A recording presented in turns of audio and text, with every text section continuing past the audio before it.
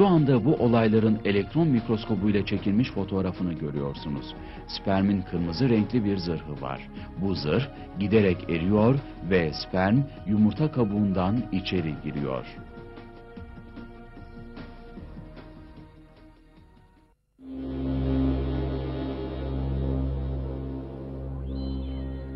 Sperm yumurta birleşmesindeki kusursuz tasarım bunlarla da sınırlı değildir. Sperm yumurta kabuğuna vardığı anda bir başka mucize daha gerçekleşir. Sperm kendisini buralara kadar getirmiş bulunan kuyruğunu bir anda bırakır. Bu çok gereklidir. Çünkü eğer sperm bu işlemi yapmazsa sürekli hareket etmekte olan kuyruk yumurta hücresinin içine girecek ve onu tahrip edecektir. Spermin kuyruğunu atması, uzaya gönderilen füze ve uzay mekiklerinin atmosferden ayrılırken artık ihtiyaç duymayacakları yakıt tanklarını ve motorlarını boşluğa bırakmalarına benzemektedir.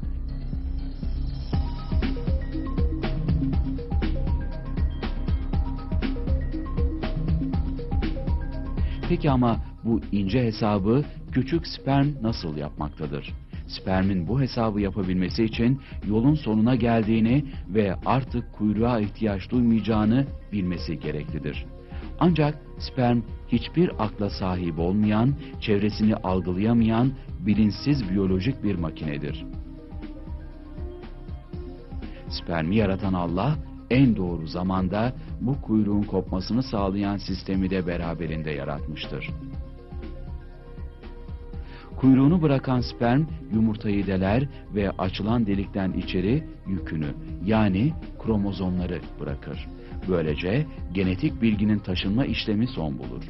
Birbirinden bağımsız yüzlerce farklı sistemin bir uyum içinde çalışması sonucunda erkek bedenine ait genetik bilgi yumurta hücresine ulaştırılmıştır.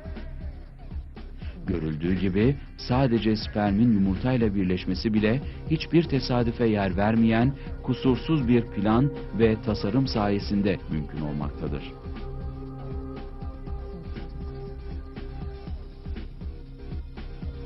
İnsan farkında bile değilken gerçekleşen bu olaylar ve bu olayların her aşamasında görülen akıl ve planlama insanın Allah tarafından yaratılmış olduğunun açık birer kanıtıdır.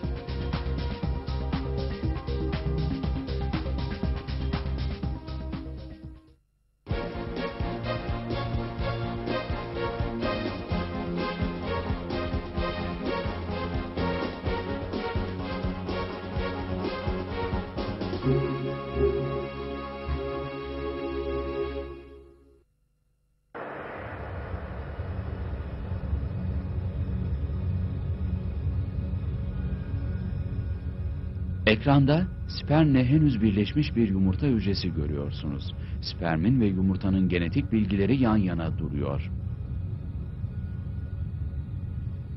İşte şu anda yeryüzünün en büyük mucizelerinden biri gerçekleşmek üzere. İki genetik bilgi yepyeni bir insanı oluşturmak üzere birbirine karışacak. Ve birleşme gerçekleşti. Belki inanması güç ama bu hücrenin içinde doğmamış bir insana ait bütün bilgiler bulunmaktadır. Doğacak olan bebeğin göz, cilt ve saç rengi, yüzünün şekli ve bütün diğer fiziksel özellikleri burada şifrelenmiştir.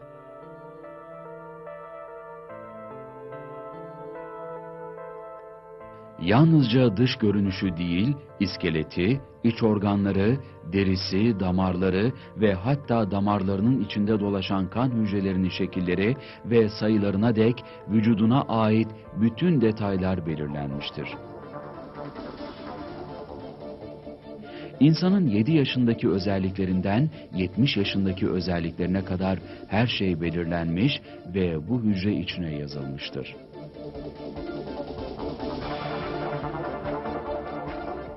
Döllenmeden kısa bir süre sonra hücre çok şaşırtıcı bir hareket daha yapar. Bölünür ve iki yeni hücre oluşur. Sonra bu hücreler tekrar bölünür ve dört hücre oluşur. artık yeni bir insanın inşaına başlanmıştır. Peki hücre niçin bölünme kararı alır? Niçin insanı inşa etmek gibi bir görev yüklenir? İnsanı inşa etme bilgisini hücreye kim vermiştir?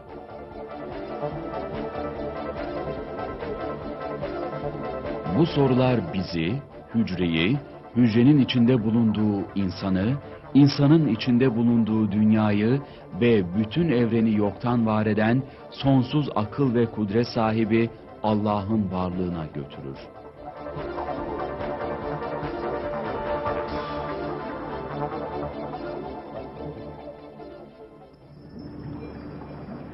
Şu anda sürekli bölünmekte ve çoğalmakta olan hücre topluluğunun Fallop tüpünün içindeki yolculuğunu görüyorsunuz.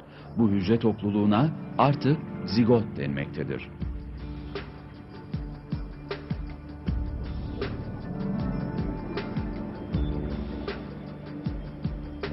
Zigotun içindeki hücreler bölünüp çoğalırken çok şaşırtıcı bir olay daha gerçekleşir.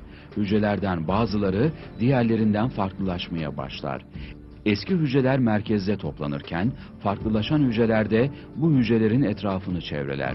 Kısa bir süre sonra merkezdeki hücre grubu embriyoyu yani doğacak bebeğin ilk halini çevresindeki grupta embriyoyu besleyecek olan plasentayı oluşturacaktır. Hücrelerin birdenbire farklılaşmaya başlamaları, embriyo veya plasentayı oluşturmaya karar vermeleri bilim dünyası tarafından büyük bir mucize olarak kabul edilmektedir. Bunu hücrelere yaptıran gizli bir emir vardır.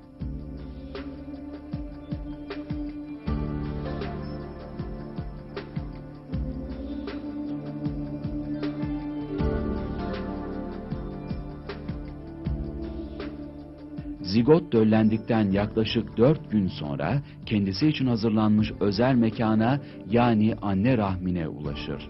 Vücuttan dışarıya atılmaması için rahme tutunması gerekmektedir. Ancak zigot birbirine benzer hücrelerden oluşmuş yuvarlak bir yığındır.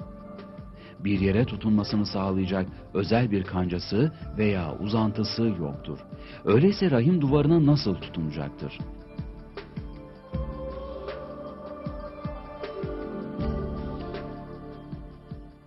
Bu da hesaplanmıştır. Zigot, anne rahminin duvarına ulaştığında özel bir sistem devreye girer. Elektron mikroskobunda çekilen bu görüntü anne rahmine henüz ulaşmış bir zigotu göstermektedir. Zigotun en dış yüzeyinde bulunan hücreler rahim duvarını eriten özel bir enzim salgılar. Böylece zigot rahme sıkıca tutunur ve vücuttan dışarı atılmaktan kurtulur. Zigotun yüzeyinde gereken yerde gerekli enzimi salgılayacak hücrelerin bulunması, yaratılışın kusursuzluğunu bir kez daha göstermektedir.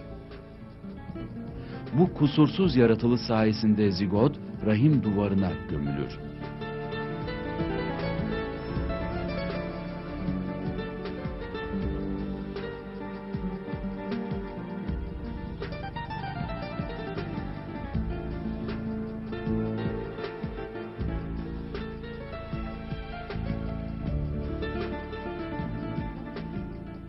Rahme tutunup büyümeye başlayan bu yeni canlıya artık embriyo denmektedir.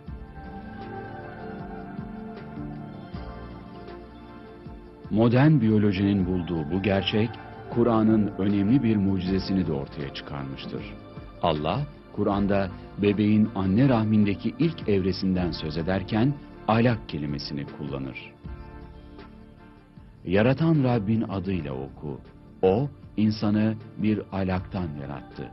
Oku, Rabbin en büyük kerem sahibidir.